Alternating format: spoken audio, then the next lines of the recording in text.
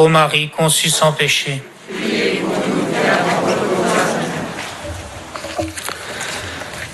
Frères et sœurs, l'horizon de ce dimanche reprend l'une des plus antiques collectes de la liturgie.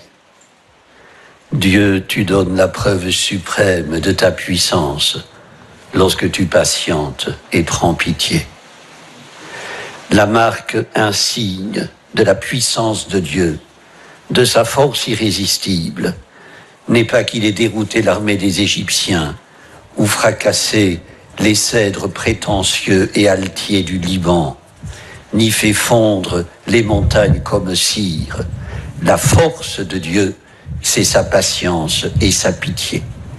C'est tout le paradoxe de Jésus qui s'est fait serviteur, qui a choisi d'être pauvre et faible, qui s'est livré à la merci de ses adversaires, s'est effacé devant ses fidèles, interloqués par ses guérisons miraculeuses, comme devant ses ennemis, à qui il ne cherche jamais querelle. Frères et sœurs, la patience déconcertante de celui dont les pensées ne sont pas nos pensées et les chemins ne sont pas nos chemins. La liturgie l'évoquait dimanche dernier, cette patience guérit et sauve. Primordiale, elle est la garantie de notre salut. Elle est exclusive d'un Dieu qui veut que tous parviennent à la conversion. Frères et sœurs, qui d'entre nous n'a pas eu la grâce d'en bénéficier et à plusieurs reprises? Chaque fois, par exemple, que nos discours s'apparentent au consentement du second fils, du maître de la vie, c'est l'évangile de ce dimanche. Chaque fois que nous prononçons un oui qui équivaut à un non, tant il est mal assuré.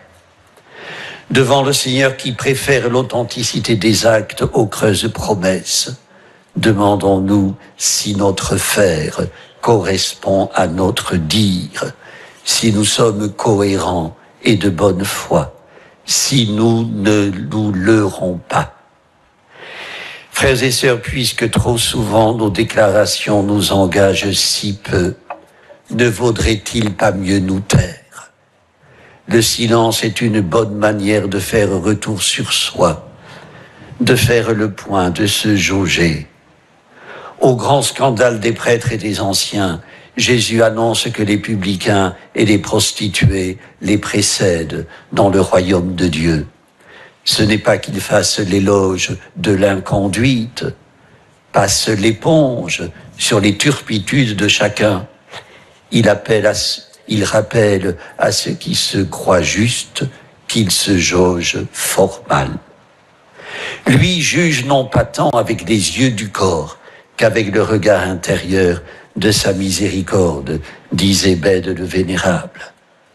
Il invite chacun à s'interroger, plus exactement à ne pas s'en compter, à se mettre au clair, à ne pas se jauger avec une balance qu'ils certifient eux-mêmes.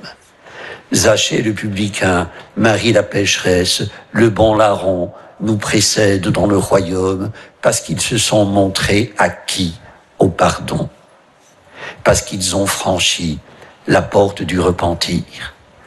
Contrairement à ceux qui, selon le mot de Peggy, ne sont jamais mouillés par la grâce, parce qu'ils sont pareils à du marbre sur lequel glisse l'eau.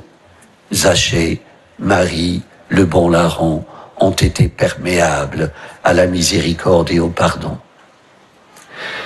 Frères et sœurs, étant nés non loin du berceau de Saint Vincent de Paul, à quelques vingt kilomètres de distance à peine, vu de la voûte céleste, c'est moins qu'un saut de puce, je me permettrai d'évoquer, dans le fil de cette méditation, ce saint landais dont nous célébrons aujourd'hui la fête. Il fut un exemple lumineux de miséricorde. D'après ses briographes, ce fils de paysan n'avait reçu aucun don extraordinaire, aucune lumière intellectuelle qui le distinguât. Il ne semblait pas doté de vertus héroïques particulières. Il a même couru après une prébande qu'il appelait par euphémisme une honnête retirade. Cependant, soucieux de mettre plus de cohérence dans sa vie. Il s'est écarté de la compagnie des privilégiés, de ceux dont le prophète Amos dit qu'ils se vautrent sur leur divan, et il s'est consacré aux miséreux. Contrairement au second fils du maître de la vigne, il n'est pas resté les bras croisés. En servant les pauvres, disait-il, en sert Dieu. Frères et sœurs, Monsieur Vincent nous enseigne que n'est pas dans le dessein de Dieu celui qui prêche la sainteté, qui prie en poussant de gros soupirs, qui vit dans l'attente des miracles, qui veut se sanctifier, pratique le conseil donné par Paul aux Philippiens.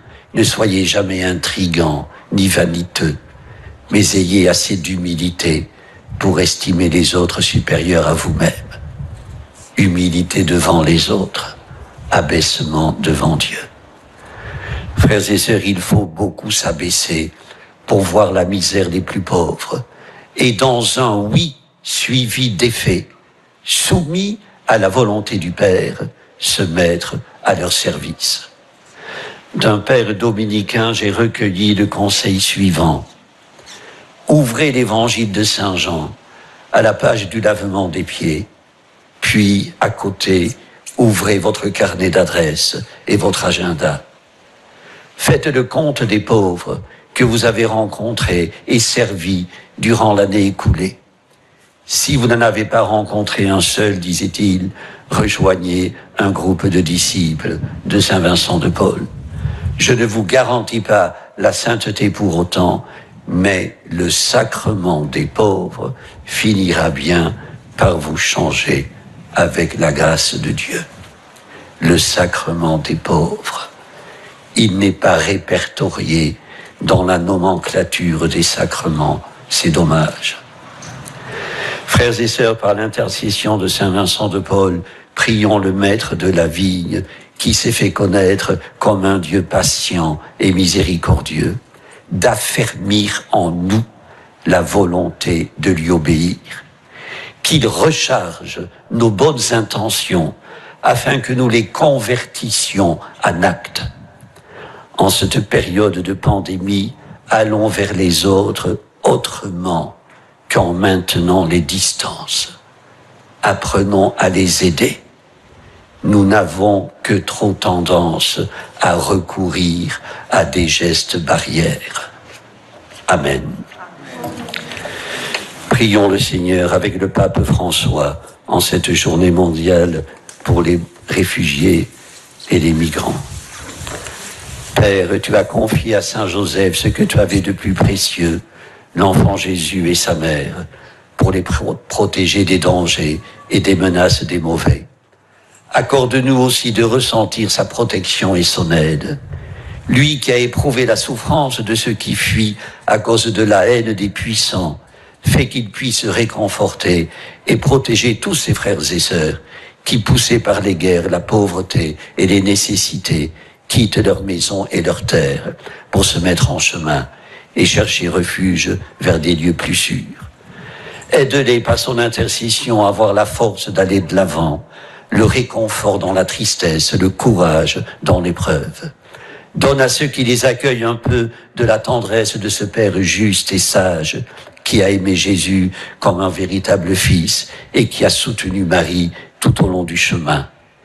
Lui qui gagnait son pain par le travail de ses mains, puisse-t-il pourvoir aux besoins de ceux à qui la vie a tout pris et leur donner la dignité d'un travail